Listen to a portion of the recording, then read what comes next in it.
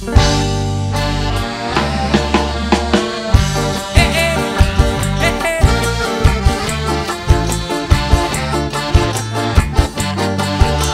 di bawah ya.